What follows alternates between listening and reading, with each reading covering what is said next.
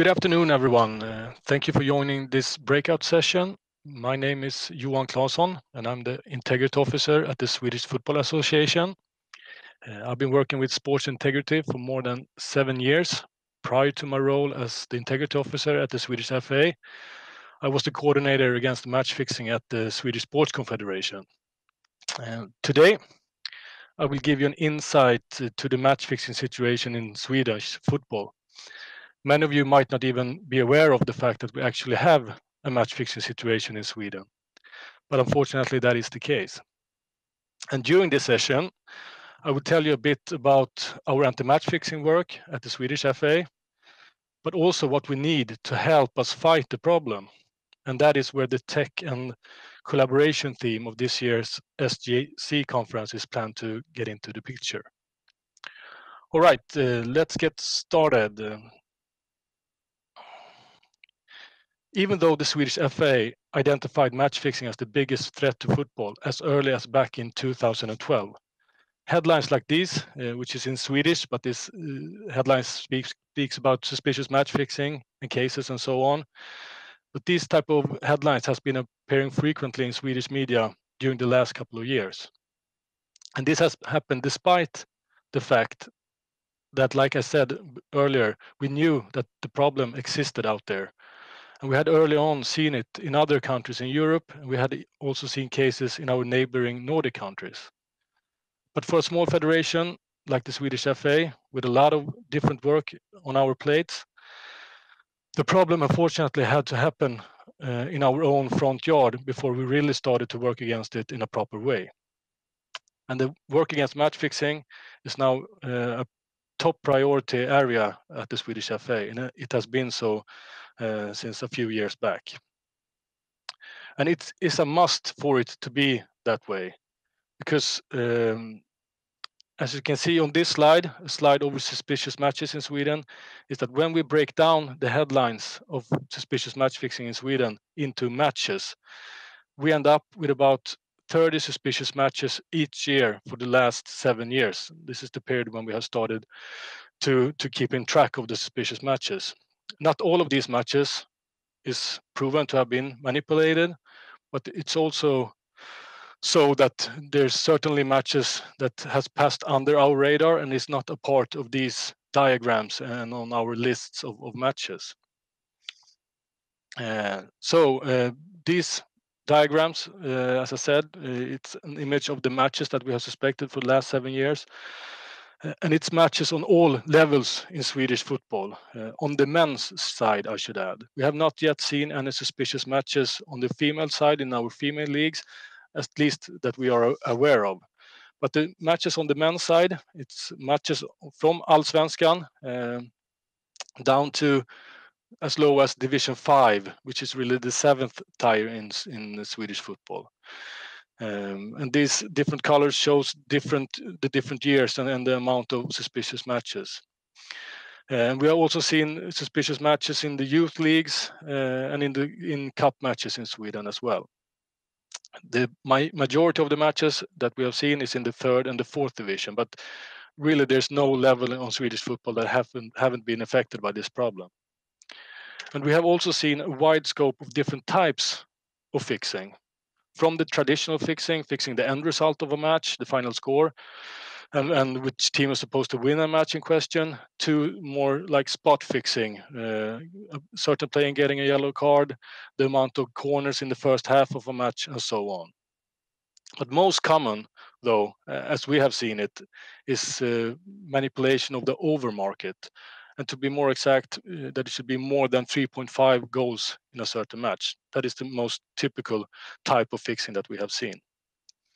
And that makes it even more difficult for us to investigate, since in those type of fixes, it's difficult for us to know if it's players in both of the teams that are involved and and or also maybe the referee. Uh, so that is also one one extra difficult thing for us during our investigations. There are also a wide range of different actors which are the one being involved in the suspicious matches. The people behind the fixing, so to say, the one who's initiating the fixes.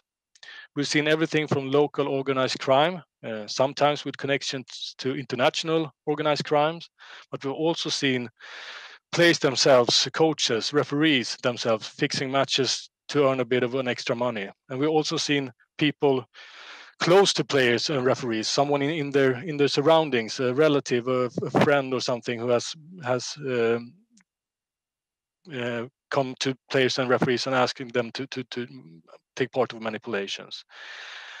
And the fixing, which is which is initiated by the organized crime, it is it is often more of a big business type of fixing, uh, aiming at earning a lot of money, placing bets on the Asian betting markets, while the, the fixing initiated by the players and the referees and people close to them uh, are more type of a small scale fixing and the places are and the bets are then usually placed on the local swedish betting market to combat the problem with match fixing the, F, uh, the Swedish FA has two major uh, tasks as we see it. Uh, first and foremost, it is the preventive part. It is our job at the FA to try to make sure that as few people as possible within the football family agrees to take part in match fixing. Our job to, to let them know what's what's on the line for them if they do, and, and to make as many of them say no to, to being a part of this. And the other major role we have to play is to investigate suspicious matches and try our absolute best to get the people that are guilty of match fixing convicted and suspended for breaches against our sporting regulations. And this is also an important thing in our preventive work because if we can show that this is something that you as a player or referee, uh, you can't do it and get away with it. You will get punished and you will get suspended. That hopefully helps the players from, from not taking part of it as well. Because in Sweden, you can get suspended from all sports for up to 10 years if you are involved in match fixing. Uh, our investigations uh, usually starts uh, in two different ways. Either we get information from our uh, from a betting company or from a monitoring company, giving us information about suspicious betting patterns or suspicious odds movement. Mm. Or we get information from someone within the football family who might have seen or heard something suspicious. And here we have seen a very positive trend the last few years. Uh, more people within sports are contacting us with information about suspicions and so on. And hopefully, this is a sign that our preventive work has started to pay off because this is something that we really highlight in our education and information campaigns that you must tell us about what you know because everyone within the football have a responsibility to, to guard it from match fixers and this information from the football family that we get it's very important for us because we once we get it we can check that information with the betting companies and with the monitoring companies to see if they have detected or seen something suspicious or irregular as well on the betting markets. The next thing that we usually do uh, once we have a, a, matching question that are suspected of, of, fixing uh, is to review the match videos if such such a match video exists that is because that is not always the case especially when we come down to the lower leagues and the youth leagues where where it's difficult sometimes to get a hold of, of someone who has videotaped it. But reviewing videos is an important but very difficult job because it is often very hard for us to to say if a performance on the field is poor on purpose or if it's just poor in general. And I will come back to this in my final slide. We also try to collect as much information as possible regarding the matching question uh, and this can be done by, by um, a good cooperation with other actors, uh, for example, the UEFA or FIFA or the Nordic FAs. Uh, if we have signs that the matching question has connections to other countries, then we contact them to try to get more information.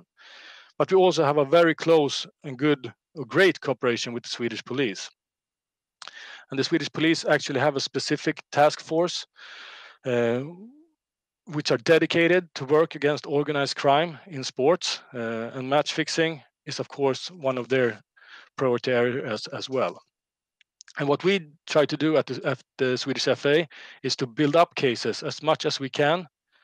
And when we have reached our limit, uh, then we hand over the case to the police. Uh, and they have, of course, a whole other tools uh, in their um, toolbox than we have that they can use during their investigations to get more information.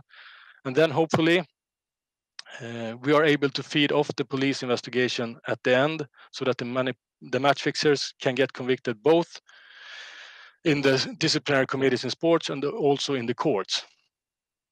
But the big obstacle that both we and the police faces when we investigate matches in Sweden is to lead the, the investigations from suspicious matches down to suspicious individuals. We must know who are behind the fixing, not only what matches are suspicious.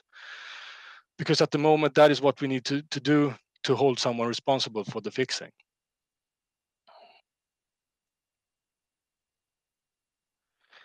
We have identified uh, two major things that we would like to headlight that we are in need of to increase the number of convicted match fixers in Sweden. Uh, that will help us do this, and, and this is not something we can do on ourselves, on our own in, in Sweden or in, in, in the football family. Like I said before, some tasks is our duty for sure that we must do without help from someone else, but there's also things that we need help with. Uh, and the first thing is uh, that we in Sweden are in need of a legal ground to be able to share the right information between the relevant actors. Today, if we have suspicions uh, against, for example, a referee, and we ask ask questions to the licensed betting companies, they are not able to give us answers, for example, regarding if a referee has been betting on its own matches, or a player or a relative to a player has betting on, on the player's matches in question. They're not able to give us that those type of that type of information even though this is information that we really are in need of you know to to help our investigations. And it is also information that we know that the absolute majority of the licensed betting companies would like to share with us. They want to give us the answers that we need but both they and we don't want to violate the gdpr gdpr regulations so in, in this case, even if we have had our disagreements with some of the bet, licensed betting companies in other matters, this is definitely a thing where we are on the same page. And we would and we would really like to collaborate even more regarding this. A good example of this is that the sports movement in Sweden has initiated a network between sports and a couple of the licensed betting companies so that while we await the legal ground that we the, the legal ground to share information that we are in so desperately need, in need of, we can at least start to share useful information between each other that doesn't involve personal data. And this network between sports and the betting companies uh, is also very important because it gives us a better understanding of each other's situation, and that is helpful in the anti-match fixing work in the end as well. The other thing that we would like to highlight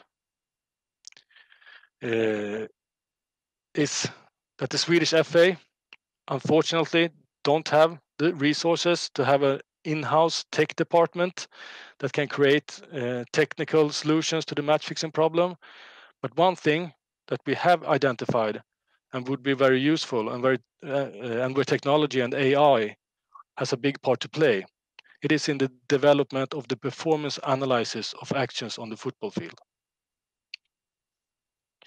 because as I mentioned before, uh, reviewing matches, footages of, of, of uh, suspicious matches, it is an important part of our match fixing investigations. But the problem is that this video reviewing at the moment, it is all based on a subjective evaluation. Uh, and therefore, it is very hard for us to use as evidence in our disciplinary proceedings we must have hard evidence uh, to be able to convict people. After all, one of the great things about football and why we, we so many people loves it, it is the uncertainty of the game. A player should in fact be able to score two own goals in the same match. Uh, goalkeeper are supposed to, to play bad uh, in a few couple of games um, and not be called and being accused of being a match fixer. But if the performances on the field an own goal, a bad pass, a yellow card, a bad action by a goalkeeper, and so on.